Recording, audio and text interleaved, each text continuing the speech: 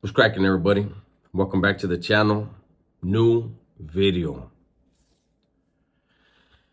Yesterday, Wade Wilson was sentenced to death. This video right here, I'm going to give my two cents, my opinion on him and what I think should happen with him. Let's check it out. Florida, 2019. Two women were going about their day. The communities in Florida, people were going about their day. Just another day, right? Had no idea that there was a killer in their midst that was coming for them that was going to actually brutalize two women, a coward. I don't know how long before he saw these two women. He had planned it out. I don't know if it was spur of the moment. But I know this guy is a straight parasite, scum of the earth lowest level type uh, of individual. I'm the type of person, because I have been incarcerated the majority of my life, I have met thousands of people and behind those walls. I'm someone who believes that everyone at their core is good. Things go on, things happen to make people build up certain defenses, certain personas in order to protect themselves. And then you run across someone like Wade Wilson, who shows you that not everyone is good at their core. Wade Wilson is the epitome of a piece of shit. It's a term we use in prison. It's a term that's used in the criminal world. The worst thing to be called next to a chomo is a piece of shit and chomos fall in that category a lot of times. Wade Wilson met Kristine Melton at a bar, went to her home. And while she was asleep, he strangled her and killed her. Then he saw Diane Ruiz as he was driving, somehow talked her into getting into his car. When she was in his car, he beat her, he strangled her. But he wasn't strong enough for this woman. She was able to get away. She got out of his car, and as she tried to flee, he ran her over. Not once, not twice, not 10 times, possibly up to 20 times. To strangle someone, to run someone over, that's rage. What happened in this dude's life to make him hate women and see women as targets for his, his aggression? What really happened? Who gives a damn? He got, and I say who gives a damn because I don't want to waste any time trying to justify anything that he's done. The things that he's done, and it's there's more than just this. Wade Wilson used to fake as if he was from a certain gang in Florida. And when he was in the county jail, claiming to be from that gang. He was caught in a cell having sex with another man. That gang does not allow that.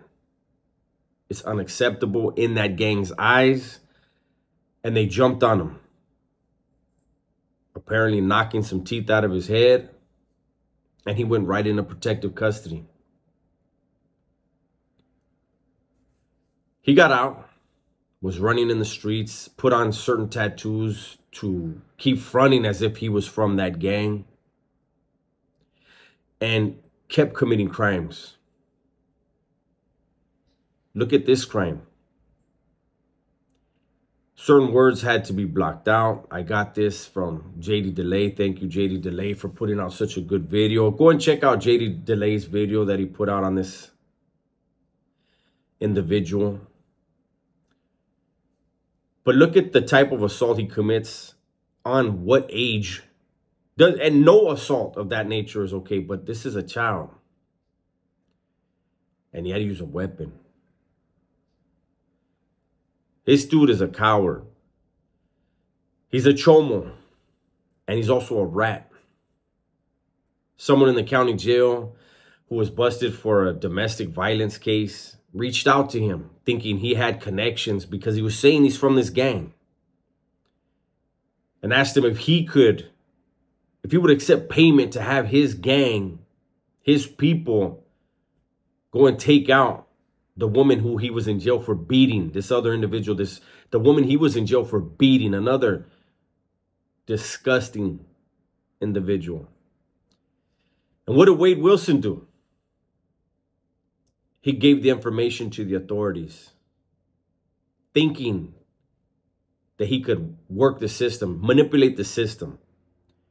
He could do whatever he wants to women and children and then turn in a kite, turn in a note, give information to the state and think he could play him? They used the information against the other person. And yesterday, Wade Wilson got the death penalty. I don't agree. I am against the death penalty. I don't think that average people in society should be deciding life or death for another human being.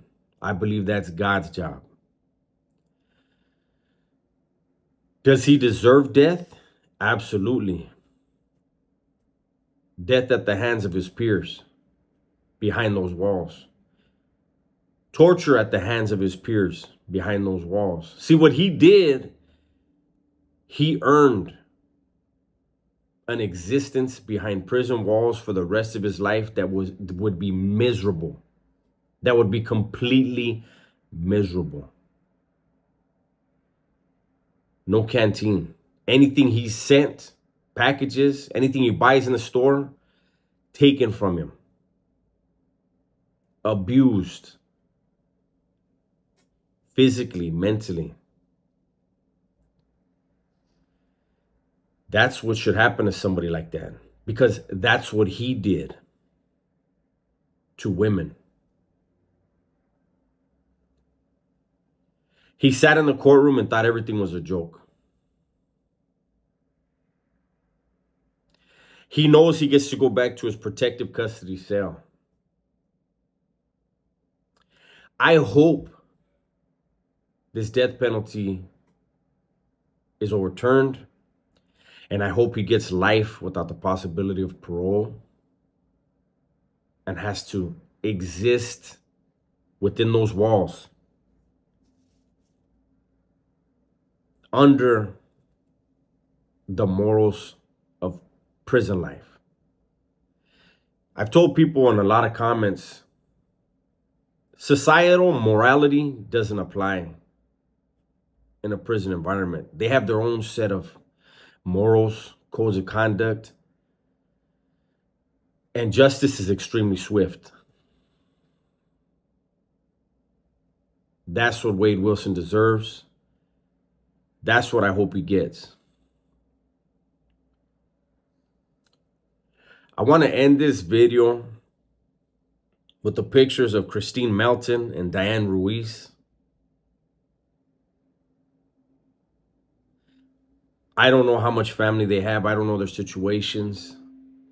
But I know someone out there loves them, misses them, and wants justice. And I'm telling you now, the death penalty is a break and a breath of fresh air for the piece of shit. He's happy because he knows he'll be able to live out year after year, appeal after appeal And had he gotten that life sentence, everything would change. He won't have that smirk on his face behind those walls with a life sentence. He will be living in fear. To the families that were affected, my condolences. Just know that even in the criminal world, this is unacceptable.